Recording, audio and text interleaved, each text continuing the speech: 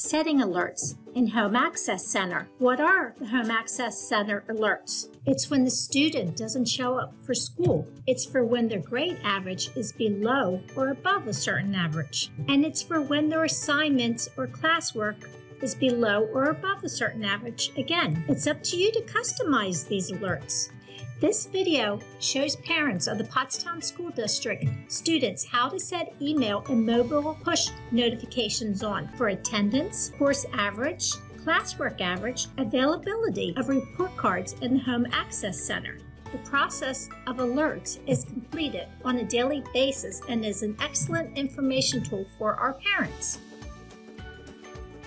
This video is to show you how to set up your alerts in the Home Access Center. When you have logged into the Home Access Center, click on your name in the upper right side, and in the drop-down, click on My Alerts. Here you will be able to set your alerts to be emailed or mobile pushed based on the topics of attendance, course average, classwork, and when the report cards are available on the Home Access Center. Clicking on the email and the mobile push for attendance will then open up this link of limiting the alerts to specific attendance codes. If you do not click on this, you will receive alerts from any attendance that is taken on your child.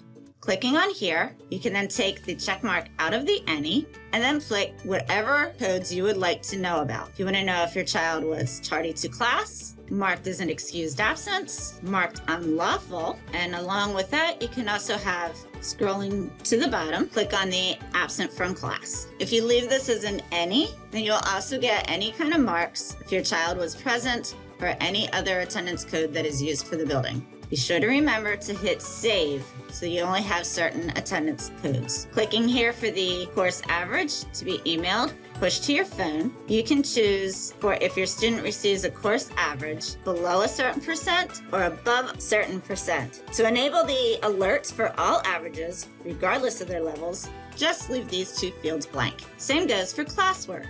These are for your child's assignments. You can have an email, you can have a mobile push, you can put in percentages for below and above, or leave it blank for anything. And four times a year, when report cards are available, if you would like to know that they are been posted, you can click on the email, you can click on the mobile push, and you will receive an email that the report cards are available when they become posted. Thank you.